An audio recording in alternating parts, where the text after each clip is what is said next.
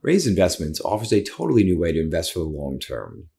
To jumpstart a customer's investment journey, we invest a large lump sum of our money into a broad market ETF. The customer pays us a monthly membership fee, and in return, they're entitled to the returns of that initial investment. Let's dive into a demo of how this might work. Signing up for Raise is simple. Just put your name, email address, and password, and you're in. Once you're logged in, you'll be taken to the dashboard and will be invited to create your first account. At Raise Financial, we offer three types of financial accounts, but today we'll be focusing on investment. We'll provide users with a brief explanation of Raise and how it's different from traditional investment accounts. Our automated system leverages a user's historical financial data and cutting edge AI to suggest a membership fee that easily fits within their budget to ensure a user's longevity on our platform. Once the account is created, a card representing the vitals of that account will appear in their dashboard. Since it takes a while for compounding returns to work their magic, we'll skip the demo ahead a few years to show what an investment might look like.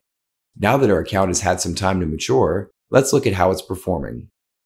This is the investment account's main page where we can view all the pertinent information around the account, how it's performed historically, how it's currently doing in the market, and how we project it to look in the future.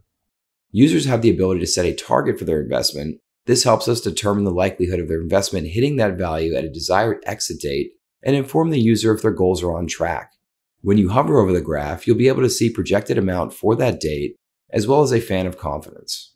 As a point of reference, you may also see what your investment would look like if you hadn't used Raise, but rather an identical portfolio and applied your membership fee as that portfolio's principal. Because of the initial lump sum that we invest on your behalf, the difference is quite significant over time. It's important that we provide users with options so their life goals change. At any point in the relationship, a user may upgrade, downgrade their membership to another level. This alters the amount of principal that we invest on their behalf and can be done at any time. Likewise, when a user decides that they're ready to cash out their investment, they may do so with a click of a button. To help users make an educated decision, we offer some perspective on potential tax implications and also provide context for what their account would be worth if they decided to wait. That's Raise Investment in a nutshell. If you have questions, please reach out at contact at raisefinancial.com.